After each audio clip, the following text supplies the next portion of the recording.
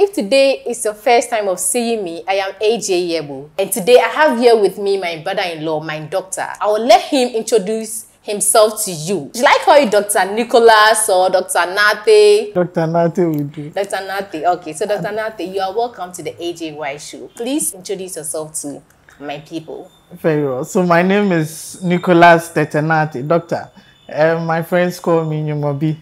Otherwise, Nicholas is fine. Okay, so whenever someone sees you in town, the person can call you. Just say Nyumobi and I'll attend. Okay, okay. Nyumobi. And what does that mean? Um, child of God. Oh, wow. Wow. Wow. That's nice. okay, so Dr. Nartey, um, I once had a, a, conversation with two friends of mine on my couple channel. Okay. We were talking about sex after birth. Okay. And one lady mentioned something concerning fertility and conceiving and all those things. And in the comment section, someone dropped a comment that, AJ, I would love you to talk about PCOS. Okay.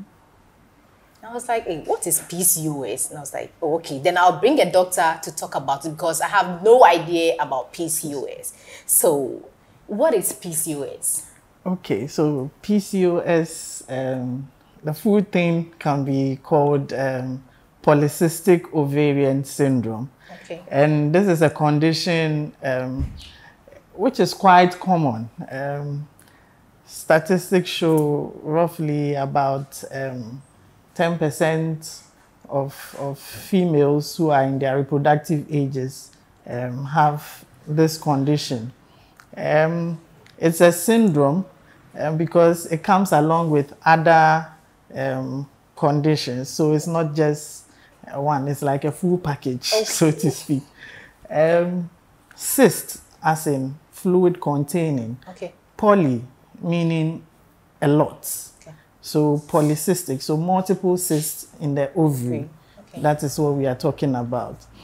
Um, it is um, very treatable condition. Okay. Um, it can be managed by your doctors.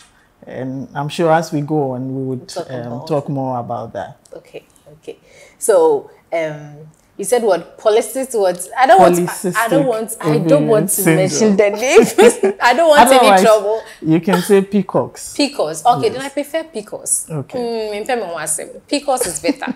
Very well. Okay, so um, Dr. Nartey, who can get PCOS? Okay, so um, and what causes PCOS? So the actual cause of um, PCOS or polycystic ovarian syndrome um, uh, is not really known. However, uh, we know there are multiple factors. Um, that is to say, a number of things go to influence um, this condition. So when you have imbalance in your hormone levels, okay. um, hormones are chemicals in the body which are responsible for communicating, um, so to speak, in, in, in the body. So when you have an imbalance in these hormone levels, that's what predispose you to um, getting polycystic ovarian okay. syndrome. Again, um, you ask who is at risk of getting yes. it. So anyone who is within the reproductive age, that is um, between the ages of 15 to 30, 35, um, you are at risk of getting polycystic ovarian syndrome. Wow. Anyone also who um, has a sedentary lifestyle. And when you say that, what does it mean? So um, the person is not active the person um, doesn't exercise, the person um, really doesn't do much. Okay. So more of in relation to your level of activity. Okay. So sedentary lifestyle. Okay. People who are obese as well um, are at risk of getting polycystic ovarian syndrome. And all of this, we are referring to ladies. Okay. So a man cannot get polycystic ovarian syndrome. There you go. Okay. So yes, and then importantly, um, if you have this in your family. So we should say hereditary. Okay. Even though um, a particular gene, as far as um, I know, has not been identified, it has been noted that um, if you have anyone in your family, say a relative, your sister, your mother, you are at risk of developing polycystic ovarian syndrome Okay. as well. Okay. Yes. Okay. Wow. I never knew it's hereditary. It is. It is. Wow. So, Dr. Nate, how can a lady know that she has got this condition, the PCOS condition? Very well. So um, you cannot know that you have polycystic ovarian syndrome unless, um, of course, you go to the hospital and you are diagnosed of it. Um, because a number of conditions can present this way. Um, first of all, your menstrual cycle may be very irregular. Um, that is to say that you either bleed very heavily or you don't even have your menses at all or when you have your menses in a whole year your the number of cycles you have would be less than eight okay. again people who um, have polycystic ovarian syndrome um, often are obese Oh, okay. Yes. So, like I said, it's one of the causes or the risk factors. Um, however, people who are often um, having peacocks are obese. Um, also, you may notice that you develop a lot of facial hair, what we call hirsutism. Or male pattern hair distribution. Um, that should also uh, make you see your doctor. Again, you um, are likely to have a lot of acne. And all of this is caused by the hormonal imbalances I mentioned earlier. So you have um, high, what we call male hormones, androgen levels Okay. in your body, and this is responsible for um, all the symptoms or the signs we would see. Yes. So maybe if I'm not obese, but when I have my menses, it's for only two. It counts for only two days. Okay. Can that be a factor? So, so um, it's not in polycystic ovarian syndrome. They rather often will tend to have very heavy bleeds and longer periods. Okay. Okay, or they do not have their menses at, all. all. Yes. Oh, we have ladies like that. Yes. Yes. Yes. Can this thing be treated?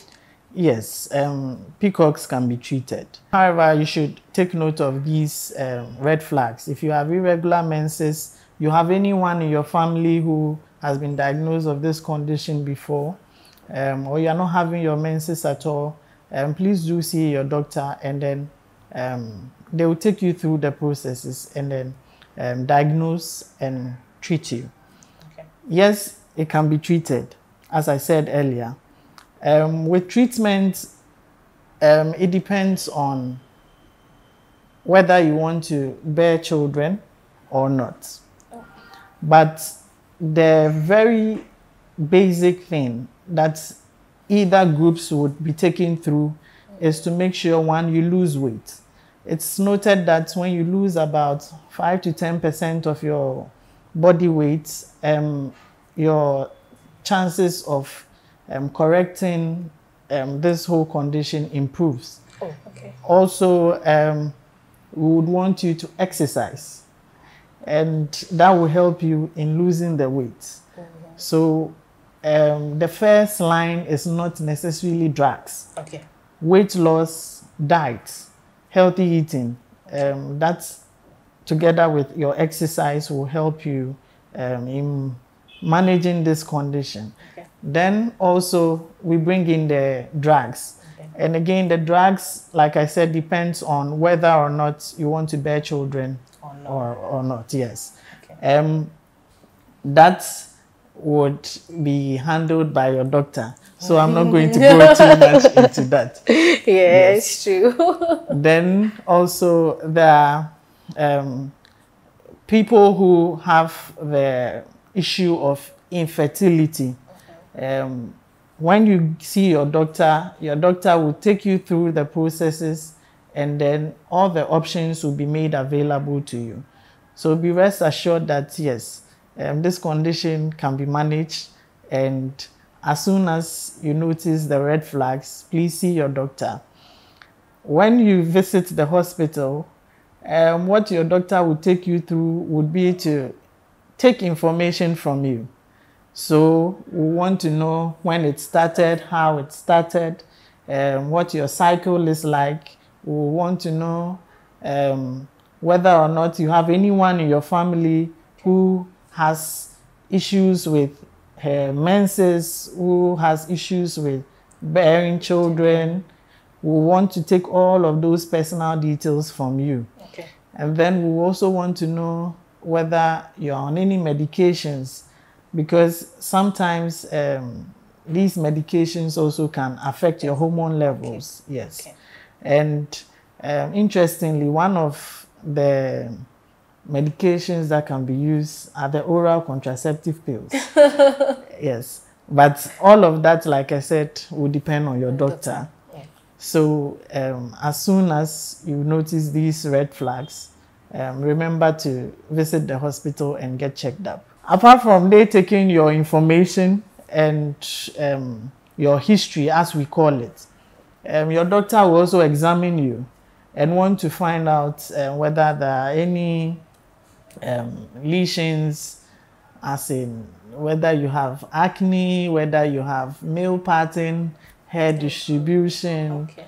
whether you are getting the male pattern baldness, whether you have other signs um, of this syndrome. Um, so this can come along with things like diabetes, type 2 diabetes. Yes. So your doctor would examine for all of that and then run a few blood tests okay. um, to check your hormones and then to rule out other causes of your irregular menses or um, your issues with infertility. Because, like I said earlier, um, um, um, polycystic ovarian syndrome, all the things it presents with, um, can be caused with, by other things as well, like issues with your thyroid. Okay. Yes. So your doctor would go through all that and then check what exactly the problem is. An ultrasound would also be performed. Um, so what we call the transvaginal ultrasound to take a view of your ovaries. Okay. And that is what will show us that indeed you have the cysts in the ovaries and um, help confirm our diagnosis. Yes. Then after which your doctor will take you through the treatment plan. Okay, so you can't just be the and be like, oh, I have this, so I'm just going to the pharmacy to get this medicine. You Not can't do all. it that way. Oh, Not okay. at all. Okay. Because again, like I said, other um, conditions could present the same way. Yes. Okay. Okay. So, ladies, you've heard it for yourself. So, if you have any any of the red flags that he has mentioned, please visit your hospital and let your doctor diagnose you before you think of anything. So, Dr. Nartey, thanks so much. But do you have It's anything to tell us, like any advice for the ladies? Well, um, continue to exercise, Okay. continue to eat healthy, um, not the pizza and the burger, the shawarmas and the drinks. Um, eat healthy, Okay. exercise, um, maintain a healthy weight, and um, yes, hopefully trust in your God. Everything will be fine. Very, very necessary. With, without God, hmm, nothing can work. So with God, everything is possible. So if you've been able to watch this far, we say um, you are blessed to listen to this conversation. Yeah, God bless you. So until next time, it's AJ Yemoh. Thanks so much, Dr. Nartey. Thank you again. too. It's my pleasure. Peace out.